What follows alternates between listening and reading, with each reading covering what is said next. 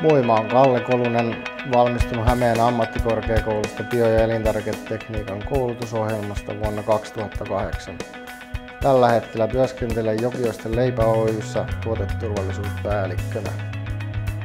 Mä suosittelen tällä hetkellä. Elintarvikealalla on paljon semmoisia tehtäviä, mikä koko ajan lisääntyy.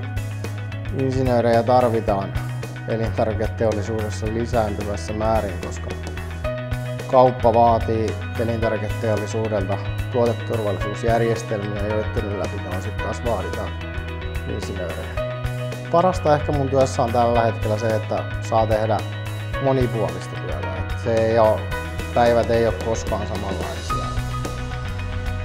No kansainvälisyys siinä opiskeluvaiheen alkuvaiheessa ei ehkä näkynyt niin hirveästi, mutta sitten loppuvaiheessa kun lähti vaihtoon, niin siinä tuli yllättävänkin merkittävää. Että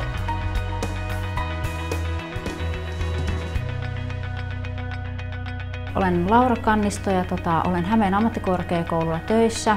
Mä olen valmistunutkin täältä Hämeen ammattikorkeakoulusta ja itse asiassa vähän vahingossa tulin alalle opiskelemaan, mutta on ollut erittäin mielenkiintoista. Tämä on tulevaisuuden ala siinä mielessä, että noita biojätteitä pitäisi saada paremmin kiertoon ja niistä energiat hyötyyn ja sitten ravinteita pitäisi saada kierrätettyä paremmin.